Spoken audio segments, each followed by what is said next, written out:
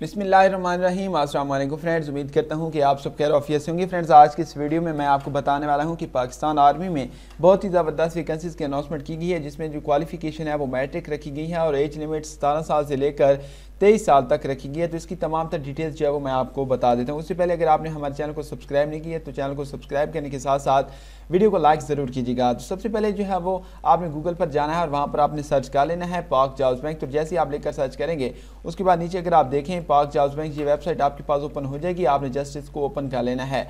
जैसे आप इसको ओपन करेंगे तो उसके बाद आपके पास इस तरह से रिसेंट जॉब्स का जो एक सेक्शन नज़र आएगा जॉइन पाक आर्मी तो आपने जो है वो इस पर क्लिक कर देना है। जैसे ही आप इस पर क्लिक करेंगे तो आपके पास जो जॉब्स की जो तमाम सारी इन्फॉर्मेशन हैं, वो आपके पास ओपन हो जाएँगी। जहाँ पर अगर आप बात करें वीकेंड पोस्टेज की तो वो है सोल्जर कुक और सैनिटरी वर्कर के लिए। और उसके बाद आपने जो है वो डॉक्यूमेंट साथ कौन कौन से लेकर जाने हैं, ये भी लिखा हुआ है कि सी एन आई सी छः आदत आपके पास जो वो पासपोर्ट साइज़ फ़ोटो होने चाहिए डोमिसाइल एजुकेशनल सर्टिफिकेट्स और उसके बाद नीचे अगर आपको मैं बताऊँ कि इसमें जो है वो भर्ती के लिए मोबाइल टीमों का जो शेड्यूल है वो 21-22 मार्च को ज़िला रहीम जार खान के जो है वो शहरी इसमें अप्लाई करेंगे और इसके लिए जो सिलेक्शन सेंटर है वो army selection centre office Bahawalpur है।